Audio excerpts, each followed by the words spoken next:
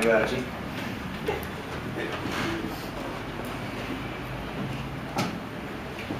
por la invitación.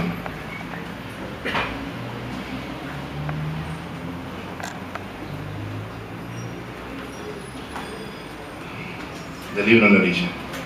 El mar se oye como una pregunta. La mañana es clara como si en ella se reflejara otra más bella y alta. Parado en arenas de clepsidra, agoto mi tiempo. Más allá de tu ausencia, siento que es tu vesti- es tu vestido alegre el que no ha venido a verme. La sensación de haber rasgado todas las verdades hasta la última mentira.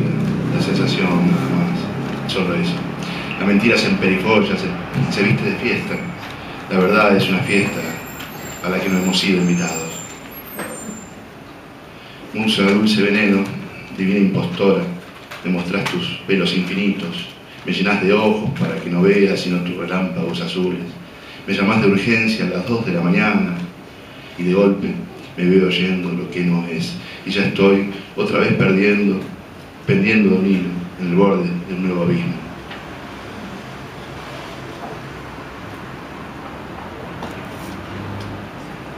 Nada por decir, por escribir, abulia frente a las comas, ante la picazón de espalda, horizontalidad de lombriz, cabeza dentro de un pozo.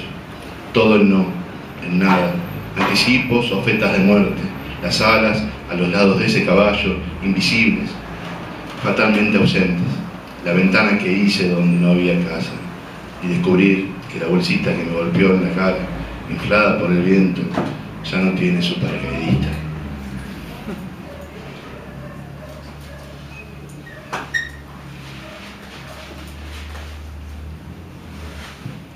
Sobrevivís en mí, delicada, frágil, como una especie en extinción. Donde hice nido brota la devastación. He sido llamada a sobrevivir toda la vida, a ser nada más arquitecto de mi sombra. Saltar hacia el vientre de la madre y de ahí hacia la nada total. Única justificación para la existencia de una máquina del tiempo.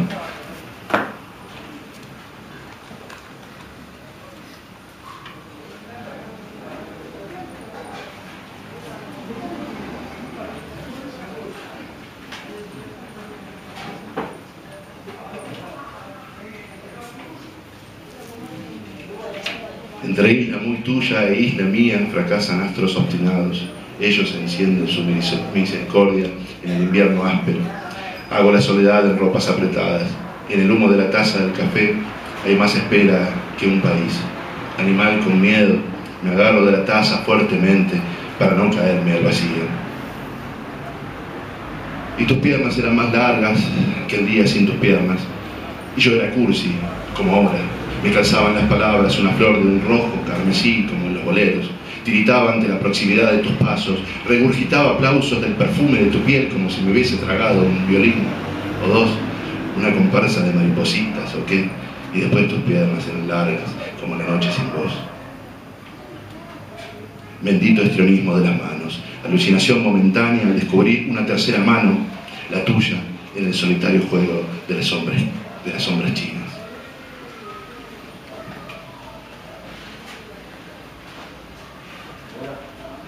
La mala poesía, la buena, la excelsa, es algo que no puedo distinguir ahora que estoy ebrio, recitando lugares para no nombrarte. Vos que estás escrita en el aire, a fuego, indeleble, y ojalá el viento te borre, se ponga las ropas del olvido. El libro Musas extraviadas. Para Ángel que- al que le gustaba este poema, en el espejo del baño. Termino de ducharme y me miro en el espejo empañado. Me veo fuera de foco. Limpio toda humedad alrededor de mi cara hasta que el contorno se ve claro. El rato, la representación empañada de mi cara llora sin motivos, sin ojos, lentamente. El cielo en tus ojos es un, es un bello escándalo. Vicente Huidobro lo hubiese dicho mejor. Giannuzzi, Becker, Pessoa, De Cátula, Octavio Paz, Whitman, Germán Hess, Paul Elugar, Juan L. Ortiz lo hubiesen dicho mejor, pero yo soy el que te besa los ojos, el cielo.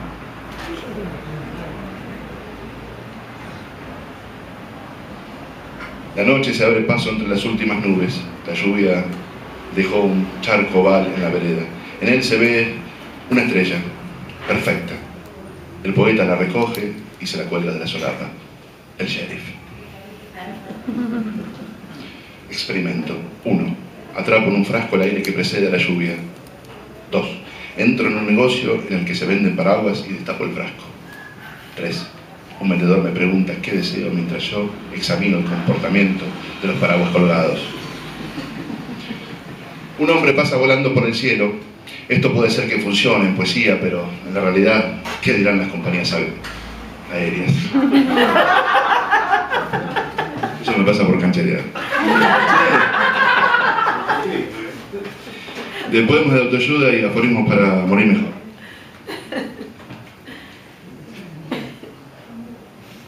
Está numerado, está numerado no, voy a decir esto, no, Parece frente a un espejo y diga, yo valgo, yo valgo, yo valgo. Ponga un precio estimativo, no demasiado alto. Y tapándose la boca con una mano, emita otra voz y pida una rebaja. Escriba papelitos con esta inscripción. Yo soy un gran ser humano y merezco las cosas, las mejores cosas de este mundo. Pegue los papelitos por toda la casa, desde la cocina hasta el baño. Repita el mensaje todo el tiempo. Yo soy un gran, yo soy un gran. Dígalo en todas partes y a todo el mundo, hasta que al fin su cara aparezca en la televisión.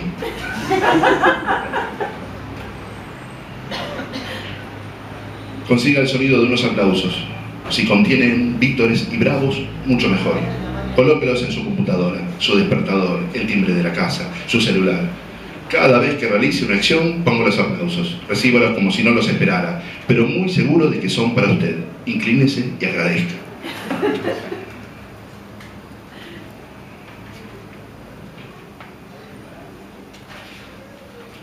Considérese a sí mismo como un milagro. Usted es único e irrepetible. Nada tiene más valor que su vida. Aléjese de pensamientos negativos o dudas. Deje de ser juez de usted mismo, pero antes declárese inimputable.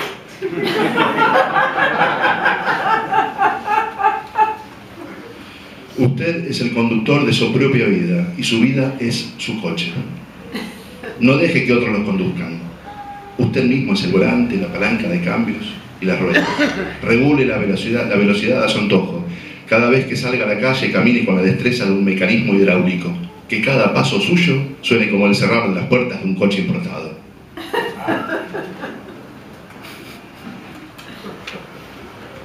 Un hombre feliz lo demuestra en todo momento. Acuda a un cirujano plástico.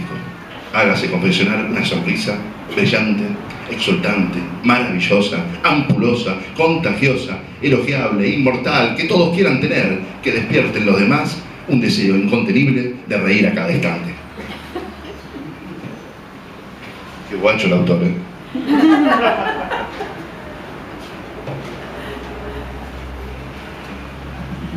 Confeccione una lista con sus talentos. Sea generoso. Cópiela en una gran pancarta. A la próxima protesta en la vía pública, asista con la pancarta y atraviese la marcha contramano. Tómese una foto de cuerpo entero y haga varias copas, eh, muchas copias. Una en la que usted aparezca como turista con una cámara colgando del cuello, una filmadora en una mano y en la otra una guía. Compre varias reproducciones de pinturas y paisajes. Recorte su foto y peguen a los cuadros. Cuélguelos por toda la casa. Cuando lo visiten sus amigos, se asombrarán de verlo usted en Bombay, en Tánger, en Saint Thomas, entre los pequeños faunos del Venus y Marte de Botticelli, en el Guernica de Picasso. Y para último voy a leer unos, unos aforismos. Pero me doy cuenta que no los marqué.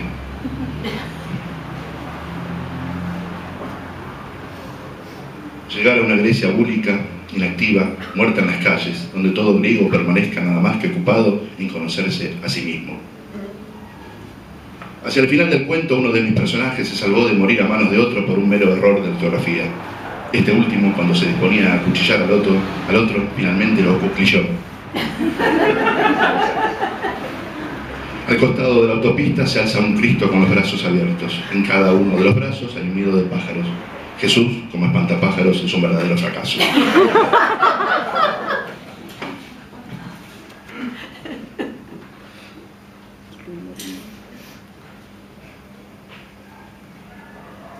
Hay mucho para odiar, prefiero parodiar. La magia de la poesía consiste en tomar un trago de brisa en ayunas y vomitar los 18 vasos de whisky de Dylan Thomas.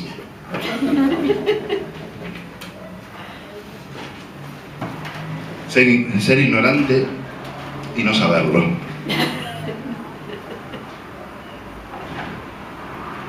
Pasada las 11 de la noche escucho a mi esposa hablar entre sueños. Es increíble que aún me quede algo por decir en este día.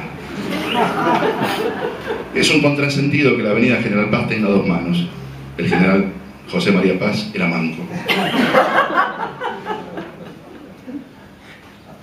Lo malo de los aforismos de Naroski es que a la mayoría se les nota el peluquín. El infierno, hundirse en el paraíso. Hoy el mar nos trajo las cenizas de tu madre.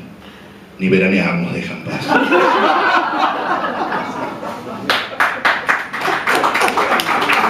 No, gracias.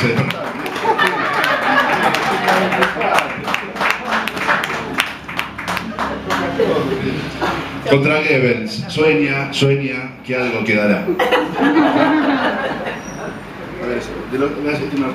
De, los ocho tentáculos del pulpo, uno es el órgano reproductor. Los siete restantes son puro goce. Sin mi deseo de ser otro, no sería yo. Sería otro. Voy con este, uno más. Leí que el Cuculus canorus, famoso pajarito reproducido en los relojes de péndulos su- suizos, también llamados cocú, está en peligro de extinción. Parece que le ha llegado la hora. Muchas gracias.